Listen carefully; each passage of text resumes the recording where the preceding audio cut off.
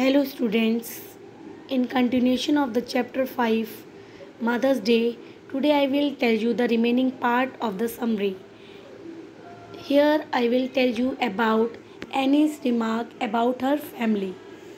Students, Annie remarks that it was high time they grew up. Doris then asked her if they had done something wrong. Annie tells them that it is actually her children's and her husband's behavior that bothered her the most.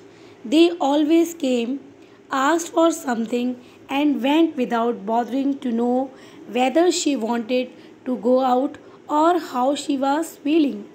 Means they never bothered about the feeling of their mother. She always does her best to keep everybody happy but all three of them were not bothered about her. Annie also remarks that while the three of them do a job of 8 hours a day with 2 days off at the weekend, she goes on working 7 days round the clock. Means she never take rest. She wants them or she wants to realize them that on weekends she will she will also going to take 2 days off.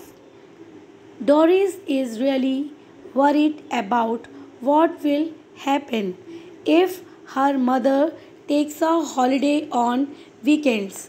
However annie assures doris that she would do she would do uh, some work on saturday and sunday only when she is requested for it and thanked for whatever she does.